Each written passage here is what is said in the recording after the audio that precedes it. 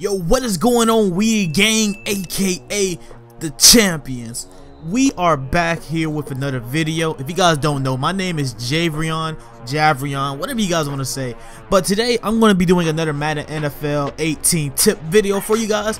So before I go ahead and start the video, remember hit that like button, comment down below what you guys want to see me do else about tips, and yeah, support the channel. So, today I'm going to be talking about how you guys can become a better MUT Squads player. Now, essentially, becoming a better MUT Squads player is basically some of skill and some of luck because sometimes the game just cheats you. It is in comp mode, so if you play head-to-head -head games, you know your users will come in handy. So if you guys want to know how to use it, go ahead and watch my dude Tater God's channel. He just put up a video how to use a lurk and all that. But my tips for you guys is once again, watch that video.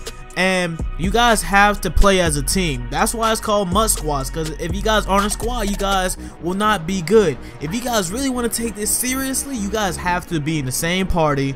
You guys have to good have good communication. You guys can't call bad plays. You guys have to have the same vision and basically the vision to win.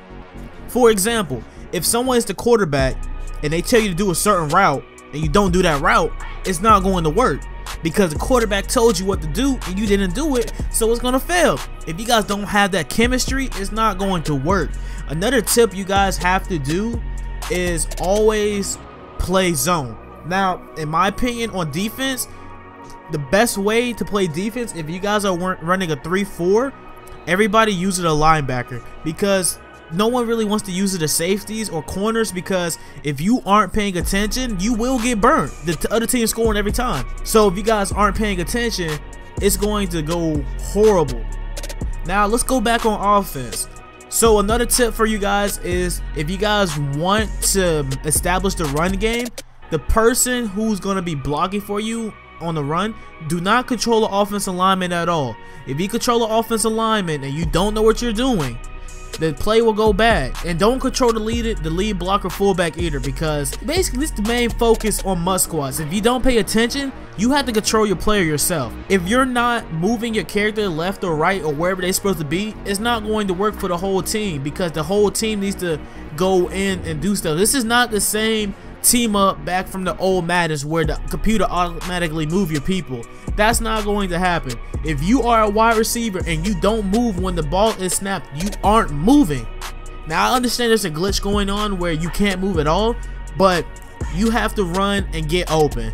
And try to run good routes too because if you don't run good routes and you run into coverage, the quarterback's not going to be good. QBs, you guys have to have the vision. I'm talking about you guys got to have some Drew Brees vision type stuff. You guys better go back and Madden 06 with QB vision and do something because if you guys do not do anything, it's going to be bad. The whole team going to fail. I've been playing with some people and me and the other person who aren't the quarterback, we know what we're doing.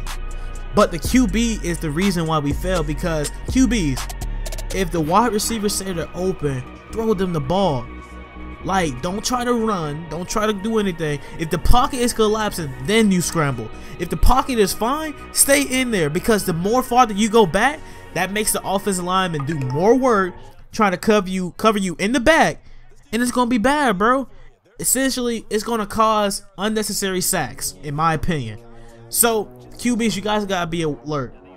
But anyways, those are my tips to how to get better at MUT Squads. I know there's a lot more stuff you could do. This is a new mode, so we'll see if it becomes competitive. If it becomes competitive, I'll let you guys know some more tips you guys can do.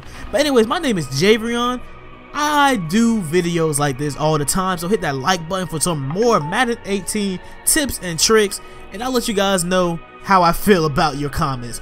Anyways, you guys, you already know. Remember to eat your Wheaties and stay champions because champions, all we do is win. I'll see you guys in the next video. Peace.